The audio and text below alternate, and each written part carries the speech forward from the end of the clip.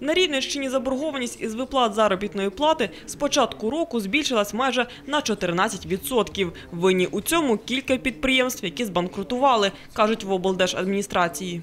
Основними причинами вказаного збільшення є зупинка Прикарпат Західтранса. Ми на це фактично не маємо можливості впливати. Е, І по підприємствам в банкрутах. По підприємствах банкрутах це авторемзавод, близько мільйона гривень, Сарненське КХП.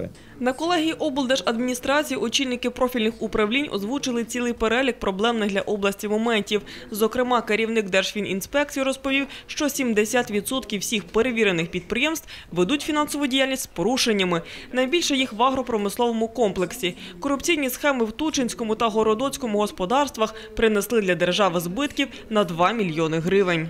Яка схема порушень? Ну, вона типова для всієї України.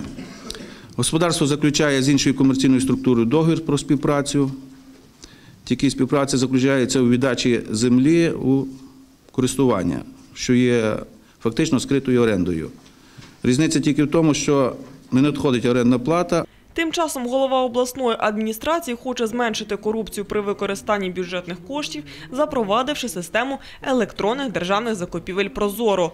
За її допомогою можна дізнатись про те, куди і скільки коштів витрачають державні установи. Відтак кожен громадянин може побачити, чи доцільним є їх розподіл. Ми маємо сьогодні 100% робити, що публічні гроші розподіляються, і громадськість контролює, люди контролюють, яким чином ми витрачаємо гроші, які збирає сьогодні кожна людина.